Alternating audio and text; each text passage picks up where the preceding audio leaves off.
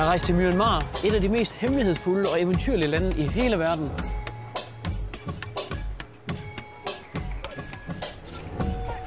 Mange familier i Myanmar er på flugt fra naturkatastrofer og borgerkrig, og det er hårdt arbejde at skaffe mad til sin familie. For eksempel høstes risen, som man gjorde det for 1000 år siden, og bønderne har ikke råd til at købe en traktor. Men selvom folk er fattige, er der i byerne fantastiske pagoder, dækket af guld og ædelsten. Øverst op, der skulle der være en diamant, som er cirka så stor her. Prøv lige at se, om jeg kan få øje på den. Og naturen er fantastisk, for her lever farlige og spændende dyr som slanger og tigere. Jeg vil opleve, hvordan det er at bo i Myanmar, hvor fattigdom og naturkatastrofer gør livet meget hårdt. Velkommen til Nørd på eventyr i Myanmar.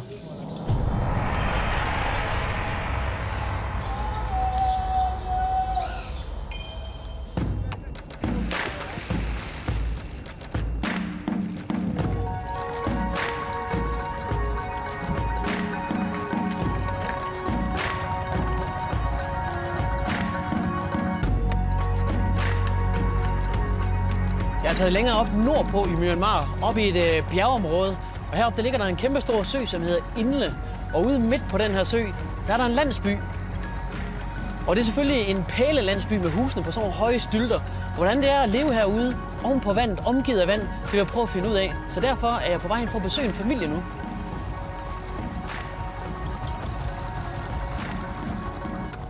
Alt i landsbyen foregår ved hjælp af både.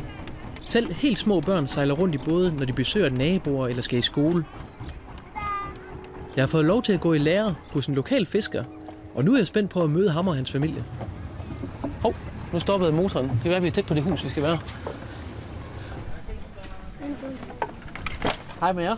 Mikkel og Bar. Det er nogle søde børn, der er her i huset. Hov. Goddag. Øh, min navn er Peter. Wing. Wing. Okay, hej Wing. Rart at møde dig. Wing, han er fiskefaren her i familien. Og øh, jeg tror, det er en ret stor familie. De andre de er sikkert oppe ovenpå. Lad os prøve at gå op og se, øh, hvordan man bor her. Ude på en pæleby på den store sø. Mingler bare... Ej, hvor er de bare søde, mand. Lige en kop te til at sige øh, velkommen på, og en stor flad kage. Mm. Ej, hvor lækkert. Tak fordi, at øh, jeg må besøge herude. Jeg får at vide, at de bor 14 mennesker her i huset. Der er bedstemoren herovre, og fiskeren, det er, det er faren i familien. Og der er selvfølgelig også en mor og en masse børn. Og det, jeg tror også, han har en bror, der bor her. Og det er meget almindeligt her i Myanmar, at øh, man bor flere generationer under samme tag med bedsteforældre, måske endda også oldeforældre. Man kan have op til, helt, op til fire generationer, der bor på ganske få kvadratmeter. Familien lever mest af fiskeri, men kvinderne de sidder også og ruller serutter, som de kan sælge inde på markedet. Og herude der er det jo så ja, arbejdsplads, værksted, og der er også tørrestativ, toilet herover, plup, lige ned i vandet. Og terrasse med udsigt over hele området.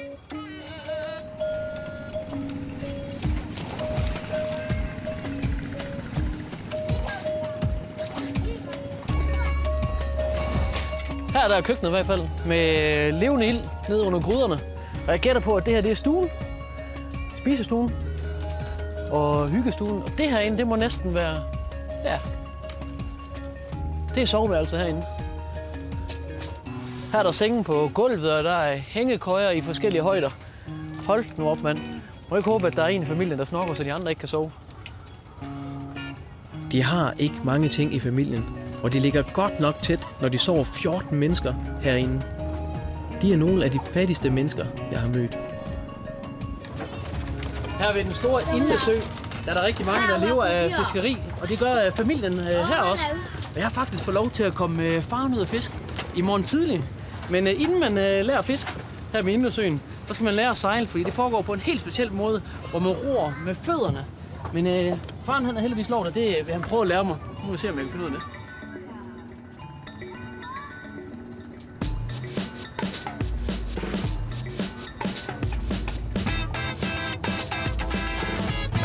Det er svært for mig at se, hvordan øh, han rent faktisk gør det. Ligesom om man har sin hæl på den ene side af åren, og så kører han øh, bladet ned i vandet rundt, måske otte taller, sådan sidelæns, og det man bare på båden til at sejle fremad. Jeg synes, det ser lidt mystisk ud. Og noget andet, jeg også synes, det ser mystisk ud, det der kæmpe net. Jeg har godt set, at det er den måde, øh, man fisker på hernede. Men hvordan det her net det virker, det aner jeg altså heller ikke. Men øh, jeg bliver forhåbentlig klogere på det hele.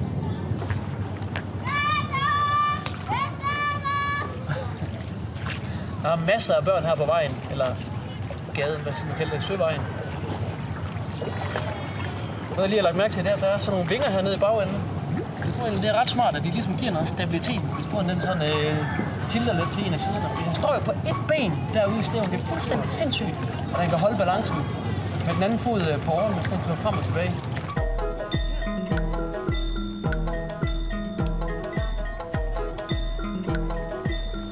Selvom Wayne gør det meget langsomt for min skyld, ser det helt vildt svært ud.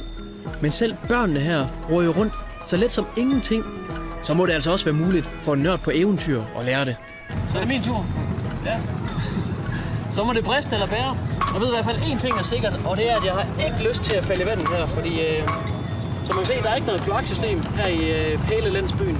Og toiletterne, de står sådan ude for hvert hus, og det er altså bare direkte ned i vandet. Er nok ikke lige det reneste vand, man kan tage sig en badetur i. Så øh, jeg skal gøre mit bedste. Jeg vil gøre mit bedste for at holde balancen, det er der ingen tvivl om.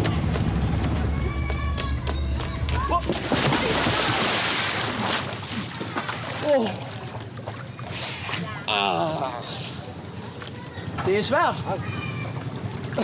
Bunden er sådan rigtig mudderblød. Jeg håber, det er rigtig mudder. Det er ikke sådan helt gammel kloakbund. Ej, det er blødt hernede. Puha.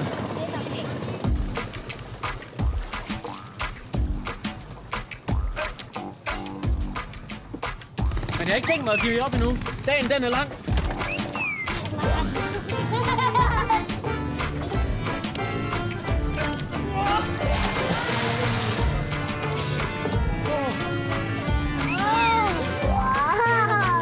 Jeg skulle lige til at sige, Wang, at øh, nu er jeg begyndt at få lidt mere styr på det.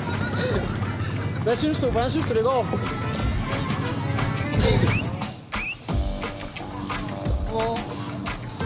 Det er bare ufattelig svært at holde balancen, og samtidig få båden til at sejle fremad. Men jeg giver altså ikke så lidt op.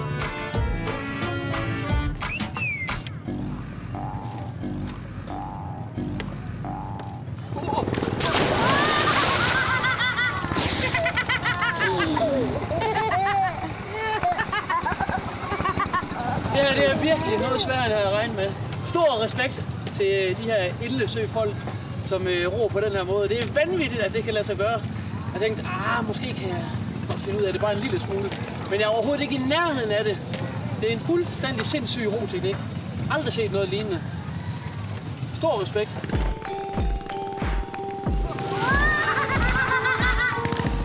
Børnene har helt sikkert aldrig set en voksen mand, der ikke kan ro, som de gør. Men de er søde, og de vil faktisk gerne hjælpe mig med at lære det.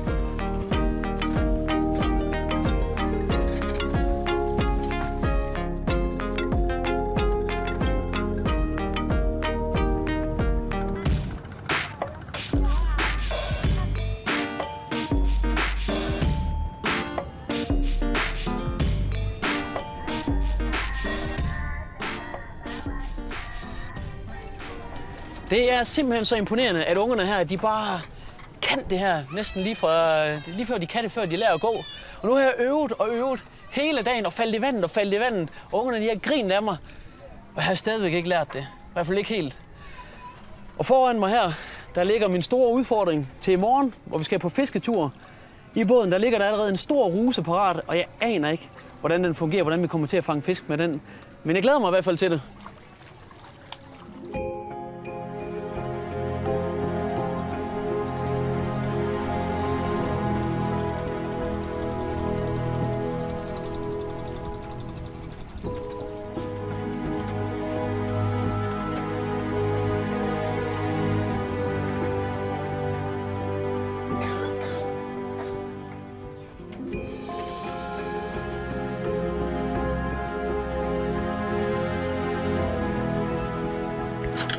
Så er det blevet morgen, og det er lidt koldt heroppe i bjergene, så vi har lige fået lidt ekstra tøj på.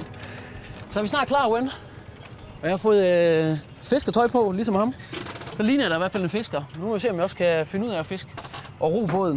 Jeg tror ikke, man kan sige, at øh, jeg lærte det i går. Øh, men nu skal vi afsted.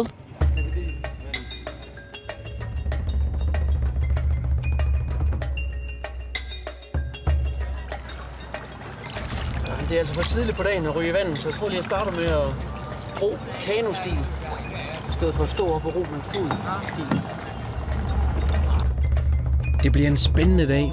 Jeg kunne virkelig godt tænke mig at fange en masse fisk til Wang og hans familie. Som tak for, at de har taget så pænt imod mig.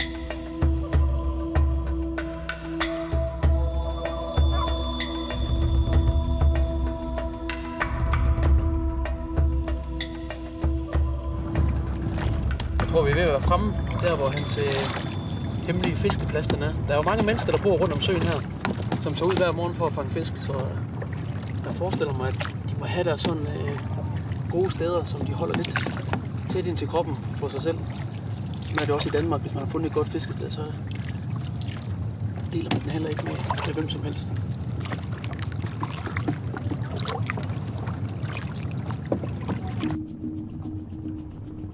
Wang er meget stille og koncentreret, og han er helt lydløs.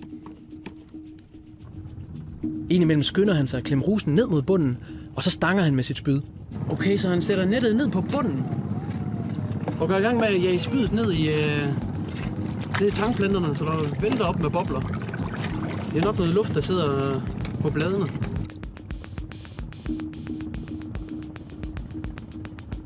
Så du en fisk, Erin? Så er du fisk.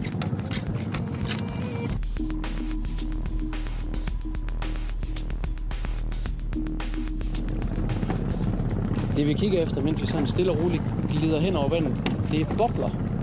Jeg ved ikke, om det er fiskene, der laver boblerne, eller om det er bobler, der sidder i tanken hernede, som fiskene måske ruster fri, når de kommer svømmende.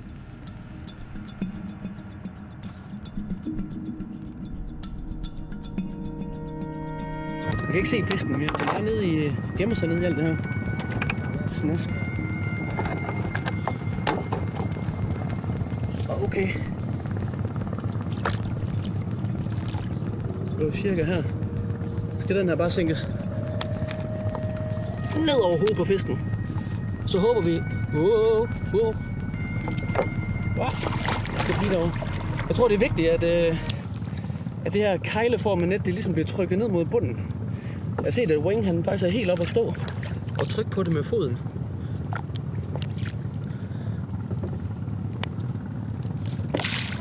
Ja. Så.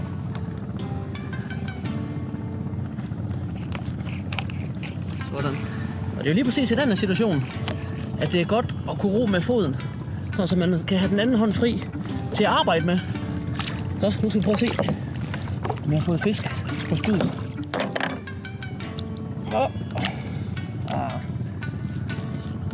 Det mærkes ikke, som om der var noget, der skrællede der.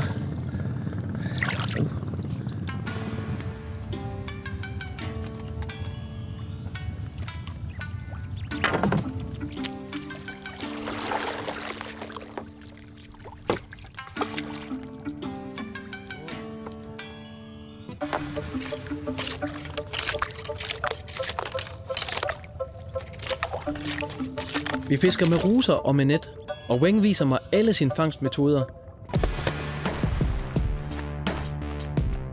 Men fisk fanger vi ikke nogen af. Måske er det fordi, at han har mig på slæb. Jeg er ikke særlig øvet, og jeg larmer nok også en del. Jeg kunne godt tænke mig at, at komme i vandet. Det er dejligt klart, det her. Og nu er solen op, så er det ikke så koldt længere. Jeg kan godt lide at fange fisk med spyd. Det er i hvert fald rimelig spidse. Jeg har altid elastikker med, når jeg rejser lige til at spænde ekstra ting på tasken. På med den her. Hold vejret. Og så dyk ned under vandet. Kig efter fiskene. Øj der!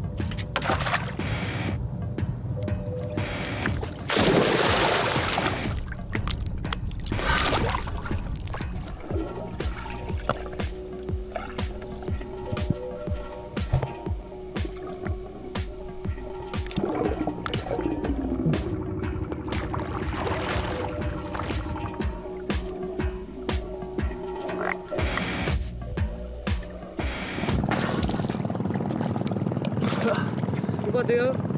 Nej, jeg har heller ikke set noget. Jeg tror ikke, der er nogen fisk lige her omkring i dag. Så jeg tænkte faktisk på, om man lige skulle sejle hen til nogle af de andre fiskere derovre og høre, om, øh, om de har fanget noget.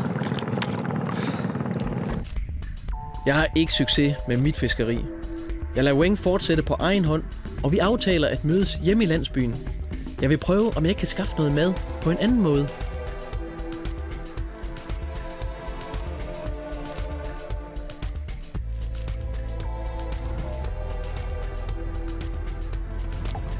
Øj, ham her, han har været mere heldig. Han har 1, 2, 3, 4, 5, 6, 7, 8 fisk i båden. Du har været mere heldig i dag. Kan jeg se. Der er der i hvert fald øh, en øh, god portion fisk hernede. Wow, nogle flotte fisk. Wow. Åh, oh, den stikker. Au, au, au, au. Her ovenpå. Åh, oh, den stikker i hånden. Sikke nogle rygfinder. Jeg tror lige, jeg skal øh, holde den sådan her i stedet for. Okay. Sådan der. Au! Åh, oh, ham derovre, han har en stor en. Wow. Hvad hedder den? Nu hvor du har så mange fisk, øh, så tænkte jeg faktisk på, om øh, jeg ikke må købe et par stykker. Kavne Inshallah. Ja, det To. Tre. Det er en stor familie hjemme ved Wendt, så Ja, jeg tror, vi skal have i hvert fald tre fisk, måske fire. Okay?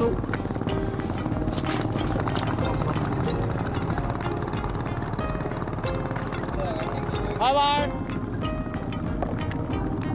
Tak for fiskene. Så fik fiskeriet en øh, lykkelig slutning. Og lige nu her, der kunne jeg faktisk godt trænge til at få fast grund under fødderne, efter at have været herude på søen i jeg ved ikke hvor mange timer. Og jeg kan se, at jeg kom lidt tæt på bredden, så tror jeg, jeg prøver at sejle ind og kigge mig omkring og se, hvad, hvordan der ser ud derinde.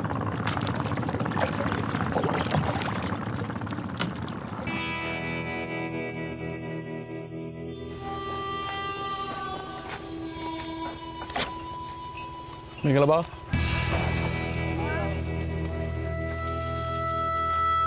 Michael bare. Hvad fanden? Hvad er det, I spiser der? Hvad er det for noget? Hvad? Må jeg se en gang? Ej, det er sjovt. Er det, er det en slikkepind? Ja, det er det vel. Jeg er nødt til at smage på det. Mm. Må jeg smage et lille stykke til? Bare lige en lille stykke. ja. Jeg tror, han sagde ja. Mm. Det smager meget karamelagtigt. Det smager faktisk okay. Men jeg har også hørt, at øh, der skulle være meget sukkerrørs øh, plantage her omkring. Sådan nogle store græsstrå, som, øh, som er fulde af sukker. Nu prøver jeg lige at prøve ud at se, om jeg kan, om jeg kan få øje på. Værsgo, det var et slikpind, var det ikke?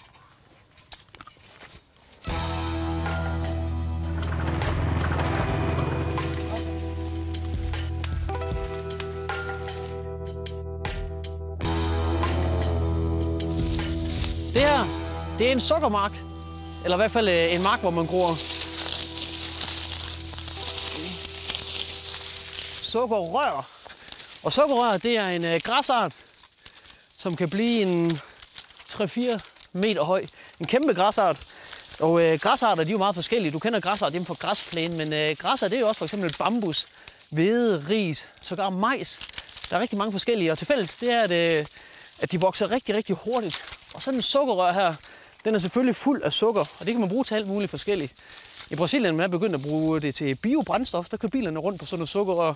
Men ellers så bruger man det selvfølgelig mest til, til madlavning. Men hvordan man sådan får sukkeret ud af sukkeret, det ved jeg ikke helt. Men øh, det vil jeg da prøve at finde ud af.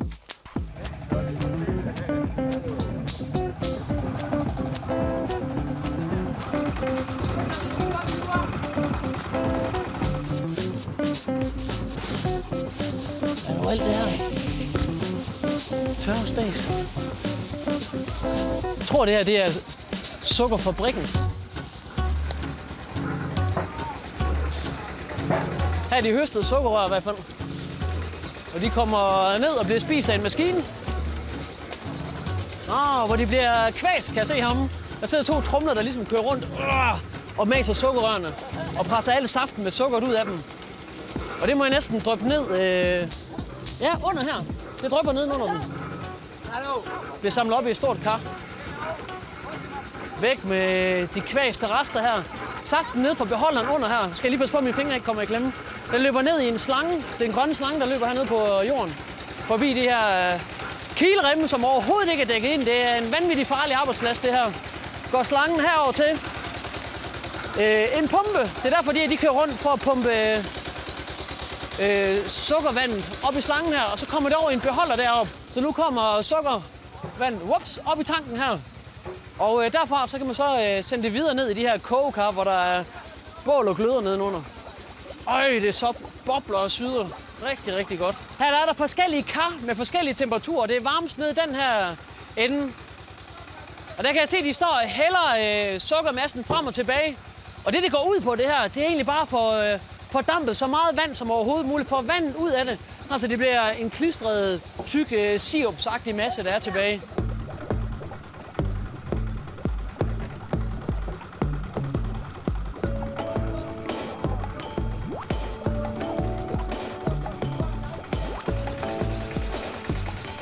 Kan jeg lige tage en omgang her?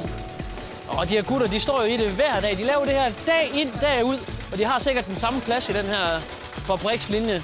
Den, der putter sukkerrør ind i kvæsemaskinen, gør det sikkert hver dag. Og den, der står her med gryden, gør det sikkert hver dag. Jeg kan godt forstå, at de sætter mig til at arbejde. Kan jeg aflaste dem lidt?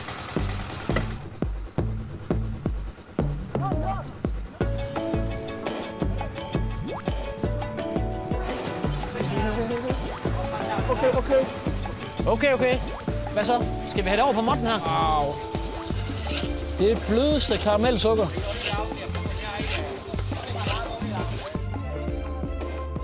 Det var altså sådan noget sukkermasse fra fabrikken her, børnene jeg mødte havde på deres slikkepinde.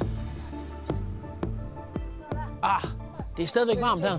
Men øh, pladen herover, den er kølt så meget af, at man kan begynde at brække øh, firkanterne af, tror jeg.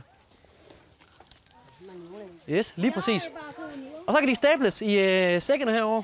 Så er de klar til at blive solgt. Og de har lige fortalt mig, at øh, det her det er en slags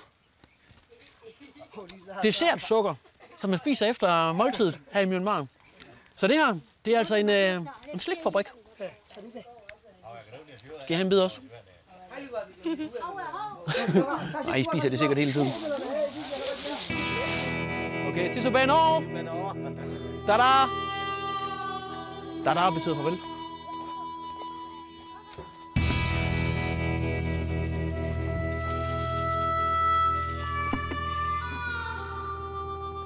Jeg er tilbage i min båd på Indesøen, og på vej tilbage til Wing og hans familie, kommer jeg forbi noget, jeg aldrig har set før. Jeg har fået forvildet mig ind i et område, som øh, ligner en kæmpe, kæmpe stor køkkenhave oven på vand. Og jeg tror, at øh, afgrøderne de vokser på sådan nogle flydende øer. Det ligner i hvert fald, at øh, man kan sådan skubbe til dem, så bølger de lidt. Og jeg kan se, at der er både øh, noget, der ligner squash og aubergine og agurker. Og der er også nogle steder, hvor der er røde tomater. Og jeg tænkte, det kunne måske være en god idé at tage lidt tomater med hjem til aftensmaden. Så jeg lige have ham med manden, der sidder og arbejder derovre. Han er måske havemand. Og man ikke vil øh, bytte en af mine fisk for nogle tomater.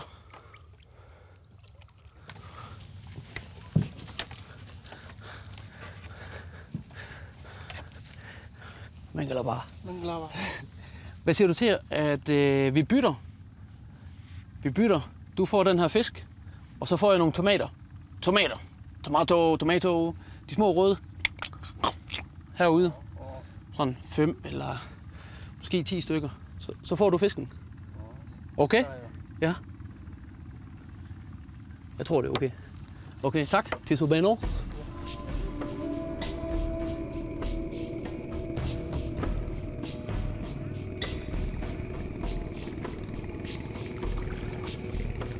Der var en tomat derovre.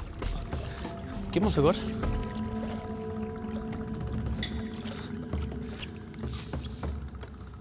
Den ser fin ud. Mmm, lækker tomat. Øj, er der en stor en herinde? Det er altså smart, når man bor herude på midten af en øh, stor sø, hvor der ikke lige er havejord, jamen, så finder man nogle planter, der flyder, og så planter man nogle tomater. Oven i dem øh, hælder selvfølgelig lidt jord på, og man grøntsager.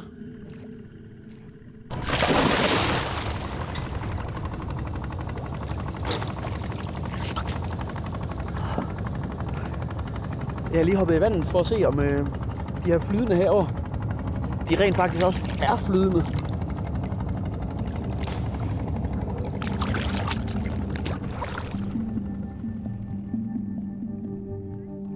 Grunden til, at haverne de kan flyde, er, at de ligger oven på nogle planter, som har en masse små luftfyldte hulrum. Den er god nok. Man kan dykke hele vejen nedenunder. Sådan. Det var vist den sidste tomat. Må jeg hellere se at komme hjem til familien Wen.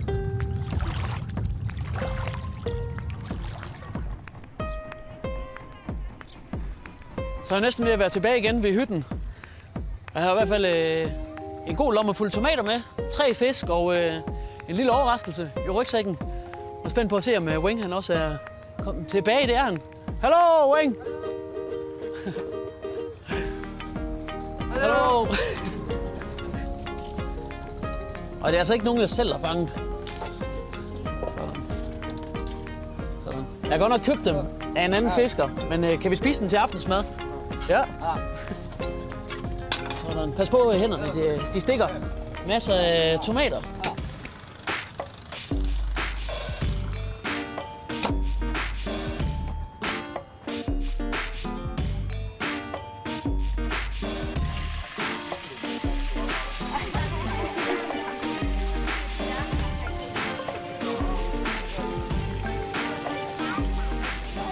Det har bare været et par gode dage herude på Indlesøen, højt oppe i bjergene.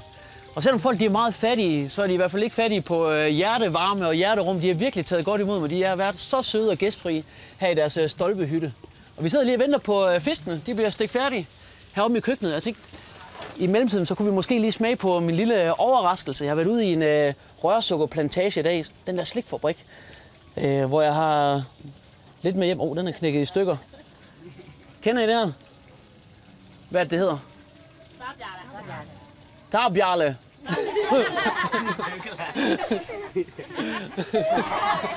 Værsgo.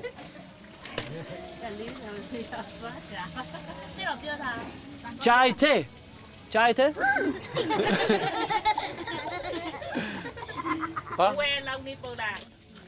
Så håber jeg, vi har lidt appetit til fisken også. Den kommer på bordet lige om lidt. Men det er, det var nørd på eventyr for i dag. Se med igen i næste uge. I næste uge besøger jeg en kæmpe pagode, som er fyldt med guld og diamanter. Nøj, den er stor. Og så går jeg i kloster for at blive munk. Men for at blive det, skal jeg altså lige have ordnet frisyren. Okay, så alt hårdt på hele hovedet skal barberes fuldstændig væk. Farvel, dejlig stridthår.